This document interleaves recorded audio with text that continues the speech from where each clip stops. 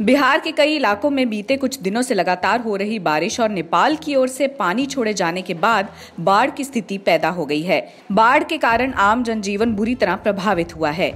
कई गाँव डूब चुके हैं और कईयों पर डूबने का खतरा मंडरा रहा है।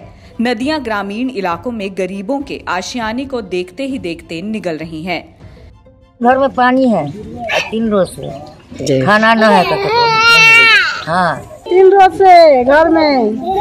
खाना बनावे के नहीं है साधन। कहाँ खाना बना के खाओ? हम लोग को आने जाने में सर बहुत दिक्कत हो रही है। हम लोग जब भी बारिश की मौसम होती है हम लोग बहुत परेशानी से झेलते हैं। यहाँ से आने जाने में राशन लाने जाने में आने जाने में कोई भी मार्केटिंग करना हो तो हर तरीका से हम लोग को दिक्कत होता है सर। बिहार के अरैया में तो बाढ़ से हालात बिगड़ते जा रहे हैं। नूना नदी में पानी तेज़ी से बढ़ रहा है, जिसकी वजह से आसपास के कई गाँवों में नदी का पानी घुस गया है। तस्वीरों में देखिए कैसे गाँव के अंदर घुटनों से ऊपर तक पानी भरा दिखाई दे रहा है। ऐसे में लोग जान बचाने के लिए गाँव छोड़कर किसी सुरक्षित जगह जाने के लिए मजबूर हैं। नदियों में उफान से गाँव से शहर तक तबाही का आलम है। लोगों को काफ़ी परेशानी का सामना करना पड़ रहा है।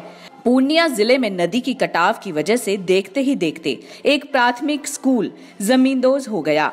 लोगों ने बताया कि बाढ़ की वजह से कनकई नदी तेज़ी से किनारे को काटती जा रही है, जिसे लेकर कई बार अधिकारियों को जानकारी दी गई, लेकिन किसी ने भी इस पर ध्यान नहीं दिया।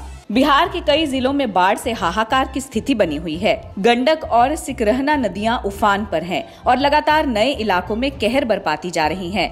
पश्चिम चंपारण की इन तस्वीरों को देखिए। सिख रहना नदी में एक नाव पलटने से चीख पुकार मच गई। इस खौफनाक मंजर को देखकर वहाँ मौजूद लोग बुरी तरह घबरा गए। कुछ लोग तो डूबते लोगों को बचाने के लिए नदी में कूद पड़े।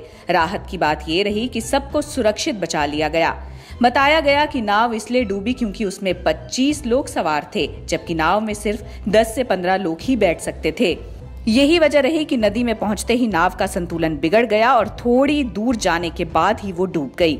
सीतामढ़ी के हालात कुछ अलग नहीं है। बागमती नदी की तेज धार की वजह से कई गाँवों को जोड़ने वाला पुल बह गया, जिसके बाद कई गाँवों पर डूबने का खतरा मंडराने लगा है। सड़कें, कच्चे रास्ते सब पानी में समा गए। हर साल बारिश और नेपाल से आने वाली नदियों में उफान से उत्तरी बिहार में बाढ़ की स्थिति गंभीर बनी रहती है। बाढ़ के तांडव से ना जाने कितने घर देखते ही देखते सेकंड में नदी की तेज धारा में जमींदोज हो जाते हैं। लेकिन इनकी सुध लेने वाला कोई नहीं है। गाँव के लोग इस बाढ़ में बुरी तरह त्रस्त हैं। जहाँ गाड़ियाँ चलती थी, वहाँ अब नावें चलने लगी हैं।